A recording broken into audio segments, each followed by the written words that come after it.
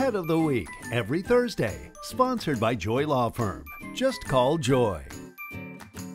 Well, we couldn't think of better guests to be our last pet of the week of the year. We're joined by Erin Sullivan, Executive Board President with Dorchester Paws, and she is here with Sweet Wallace, a three-year-old hound. It's great to have you.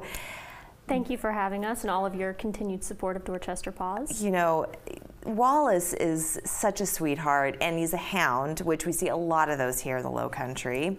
Uh, but maybe you could give us a little bit of insight into their kind of their story here and how many come to you. Yeah, absolutely. So um, we have a lot of hounds that come into Dorchester Paws. We actually have taken in nearly 4,000 animals this year. Um, and they're just very, very sweet animals, loving. You can see he's quite calm. Um, he's he's been with us since the end of November. Okay. He is up on the adoption floor, um, and so very good temperaments, great family pets. They like to follow their nose, but quite calm as yeah. you can, as you can see here.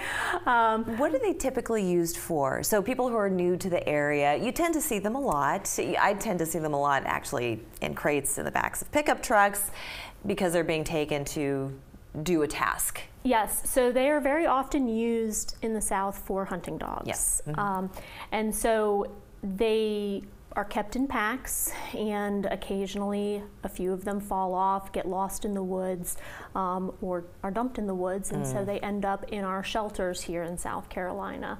Um, but they are just very, very sweet, loving animals. And they're, they're very much, and it's hard to imagine this because being that it's a dog as opposed to, say, a horse that is used to, you know, do certain things or other animals, these particular dogs, they're not really household dogs, even though they've got the temperament to be one, but they're a utility dog. Correct. That's what they're bred for. Right. Um, I know many hounds who take up on nice comfy sofas and snuggle with the rest of the family and the rest of the family pets. Um, they are they are scent dogs, so mm -hmm. they are not not designed to be aggressive, um, but they, they do follow their nose. Yeah, they follow their nose. But this one, he might need a little help with some commands and learning his new name Absolutely. and all, all those things. But really an angel, an angel Absolutely. of a dog. I can see that, yes. Anytime you adopt a, a dog from a shelter, um, there's going to be some, some pros to adopting an older dog. One, he doesn't have a puppy bladder. Right. Um, all of our animals do come fully vaccinated, up to date on their shots, um, are spayed and neutered. And the other side is he's, he's going to have a little bit of learning how to walk on a leash. Wallace has probably never been on a leash before mm -hmm. uh, November. And so just a little bit of patience when you adopt a dog from a shelter, give them a chance to get in the groove of being in a house. And it's amazing how quickly they learn as well. Oh, absolutely. They, they learn so quickly. Um, and before I get to this beautiful artwork, I just want to give some numbers uh, to our viewers just to yeah. understand what Dorchester Paws does year in and year out. So let's just talk a little bit about some of the intake numbers that you had. Over almost 4,000 yeah. animals. It is. Um, it is kind of staggering the numbers that yeah. we've seen and the increases we've seen in 2021. Uh, we were very grateful in 2020 because COVID had a lot of people adopting. Mm-hmm. Um, 2021 has not been the same, unfortunately.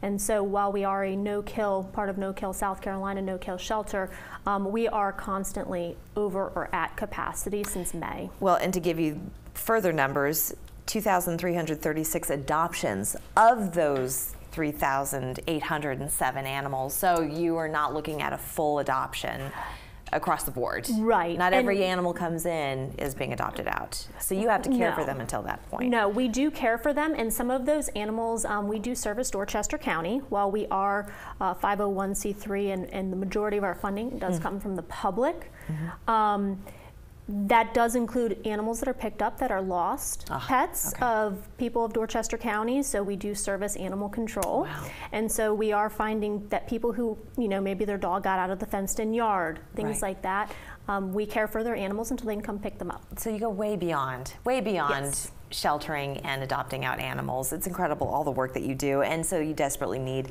all the donations, all the support you can possibly get from our viewers. If you can't bring a dog or a cat into your home, the least we can do is to make some sort of monetary donation or supplies. Yes, supplies absolutely. are also needed, right? Um, $22 adoption fees mean that you are getting an animal that is fully spayed and neutered, vaccinated, all those things. So, yes. so that money does accomplish a lot. And that is for our event that's happening this Friday. So we okay. are doing $22 adoption fees on Friday, um, New Year's Eve. And so that'll be going on for five hours. Our goal is to adopt out 22 dogs. We do have dogs and cats, but if we could adopt out 22 dogs for the new year. Absolutely, that sounds great. And I just want to thank you so much for presenting us with this. This is so lovely. We're more than happy to be your partner and to help get the word out, but this is just beautiful. Lovely artwork. Thank you Thank so you much. so much. And it's all for these little ones. Wallace. Wallace, I'm talking to you. Wallace. You just have to learn his name. Erin, thank you so much. It's thank been a pleasure. You. And Happy New Year. Happy New Year to you. We're back after this.